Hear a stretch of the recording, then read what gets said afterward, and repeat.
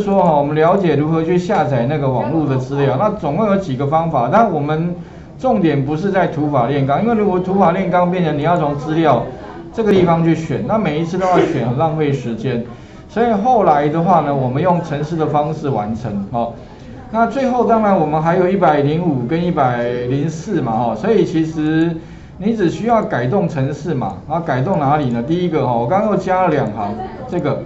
一百零五好了哈，然后这个网址要改一下，这个网址改成一百零五年的，所以我把这个地方找到一百零五年的，好，然后把这个网址复制一下。OK，那因为它的编码也是 Big 五了，所以我不改哈，我这边改一下，好，这个 HTTP 这个地方，好，把它贴上。哦，那记得哦，前面不要有空白，因为有的时候好像会有空白，这个就不对。OK，好，那一样是九五零，那我们一样就是按 F 八好了，逐行跑一百零五，然后它新增一个工作表，下面这边，然后把它改名叫一百零五，然后就去下载资料，所以让它跑一下。那一样就是把资料先下载下来，然后呢再插入两栏哦，然后把公式填上去，向下填满。OK 啊，如果它翻正你就继续好了，哦，让它继续往下跑，这样就 OK 了哈。所以一百零五年就瞬间抓下来，Ctrl 向下，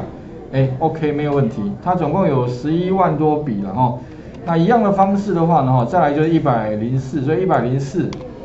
然后一百零四这边的话呢，哈，把它关一下。一百零四年，然后，把这个资料啊，这个比较少，八万多笔而已啊，把它复制连接网址，然后一样贴到这边来，贴上，OK 哈，哎，这个网址好像比较不一样，这是位置不同哦，然后一样是是不是 Big 五啊？哎，对，Big 五，好，OK，那所以呢，我们把它这个 run 一下，好，所以一样，它会。先新增一个工作表，然后把资料下载下来，那并且插入两列。那这样的话呢，哈，基基本上今天完成，就是把总共有八年的资料哈，就全部把它下载下来。OK，然后你把它存档，角胶，这样子就完成了。OK，好，来画面先还给各位一下哈。